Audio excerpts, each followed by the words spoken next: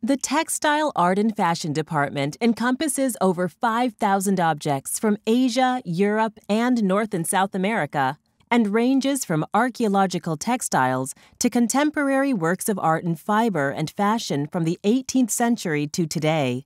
The collection includes an impressive array of contemporary fashion from designers working in Paris in the 1980s and 90s, including Azzedine Alaïa, Anne Marie Beretta, Thierry Mugler, Yohji Yamamoto, and Rei Kawakubo.